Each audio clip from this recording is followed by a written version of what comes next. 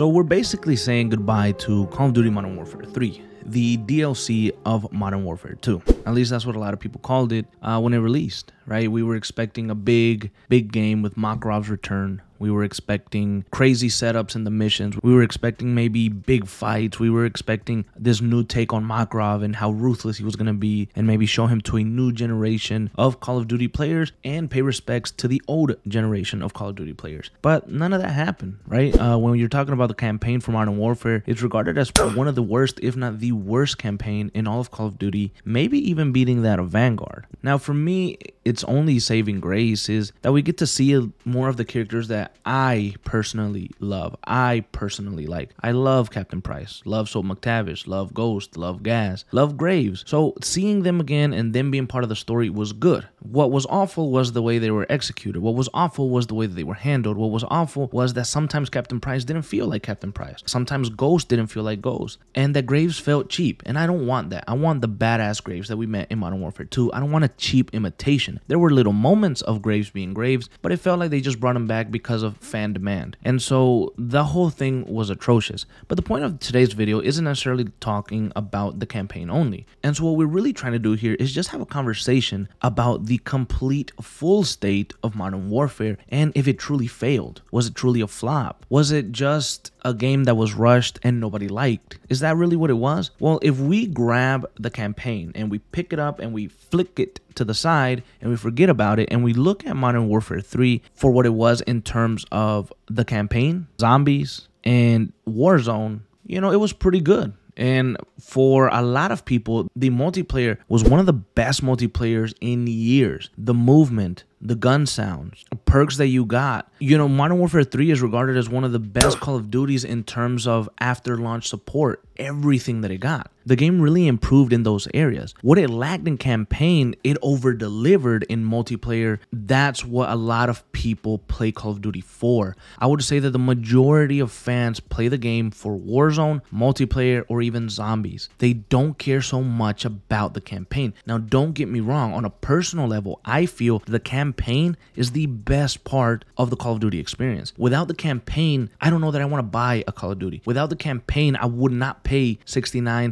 $79 for a new game. I wouldn't because I love story games. So, am I in the majority? No, I'm probably in the minority. So, when you're seeing everything else, yeah, the game was quote unquote successful when it comes to that. A lot of us want to shit talk Modern Warfare for its campaign, and we should shit talk Modern Warfare for its campaign because it was awful. It was atrocious. And I, on a personal level, love to love things. Like I want to like the campaign. I want to pick and find things that I like and things that I thought were well and find maybe a little bit of diamond in the shit. And to be quite honest, I've done that a lot over this past year of Modern Warfare 3. I've tried to find things that I like as well as talk about things that I didn't like about it. But again, in general, the multiplayer was awesome and a lot of fans just loved it. And so I played a little bit of multiplayer this year just to level up some things, just to, you know, give it a shot sometimes. Because I, I, didn't play so much for Modern Warfare 2 or Modern Warfare 2019. I kind of stepped away from the scene of multiplayer. The only thing that I really hopped into was Warzone. But in me playing multiplayer by myself, to be quite honest, I had a lot of fun. And this year in particular, I started picking up on what a lot of the young, young bucks called the meta of Call of Duty. I didn't know what the word meta meant I still don't actually. I just know that it's a term. But apparently, you have a gun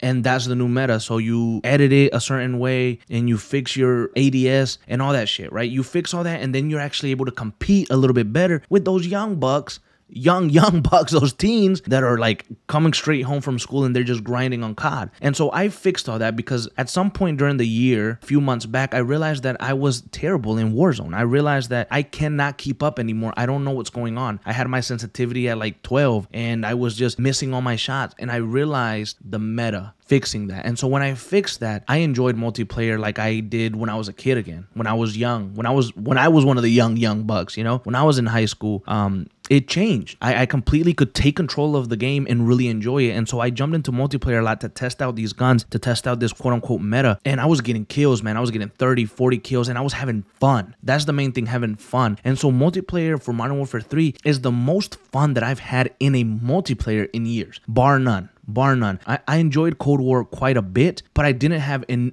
as much fun as I did with Modern Warfare 3 multiplayer. Now, I'm talking about like team deathmatch domination and that type of stuff. And so a lot, I think a lot of fans, and, and you included, might have enjoyed that aspect of the game. I cannot, and I wish that I could, but I cannot comment on zombies. I, I, I never played zombies this year. And to be quite honest, I never got the urge to want to play. It looked confusing. It looked dumb. it looked a bit boring.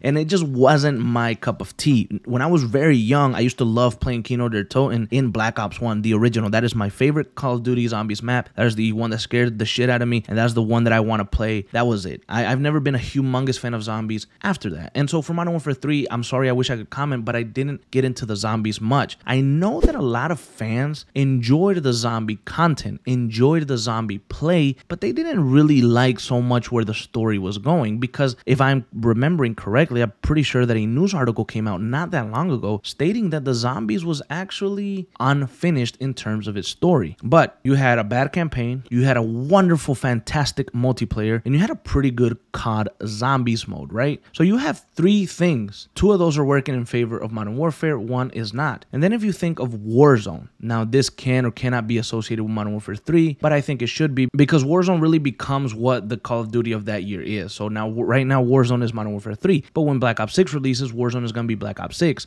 And so Warzone is the one that I can comment on the most. I think that Warzone was and is like one of the main modes that I play like almost on a daily basis um, because I play with my uncle all the time and we're always grinding and having fun. We talk shit, we play, you know, it's it's chill. But as much as I've enjoyed Warzone over the past year, it's given me so many headaches. Um, just some in some of the ways that the people play the game now. So fast paced. You shoot at somebody and they just full on sprint, jump through windows, turn around and they get you. So it can be very hectic to play Warzone at times. What I really disliked about what Call of Duty specifically did to Warzone this year was the constant change of the modes. One day we get in and we have Warzone solos, Warzone duos, Warzone trios, and Warzone quads and we're playing and everything's fine. And then the next day, Warzone duos and Warzone trios is gone.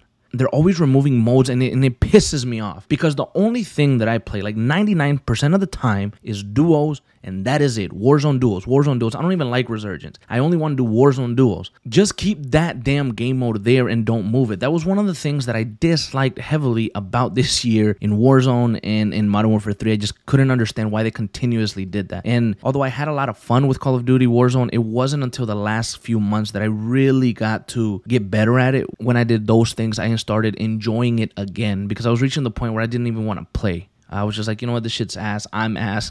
Let's just wrap it up. But after changing some settings, I was really getting into it. We were playing, me and my uncle were playing every night the duos, and then Call of Duty goes and they change it. And that was just a big thing, right? In terms of what they delivered for Warzone, though, not like not my personal issues with it. In terms of what they did with it, it was very successful as well. People liked it, people enjoyed it, people were coming back to play it. Of course, you have your issues with some hackers, you have your issues with some stuff that people didn't like. But in terms of what they were delivering, once again, that after launch content content, all the maps, all the skins, all the weapon customizations, all the bundles that they were releasing. Yes, yeah, some of them were ridiculously expensive. Some of them were a bit too much, in my opinion. But overall, they continuously delivered random crap all the time for people that like horror, for people that like cartoons, for people that like military, for people that like all these things. They continuously delivered on all these collabs. Now, some people are fully against the collabs, some people like some of them, and some people just want military sim outfits. To be quite honest with you,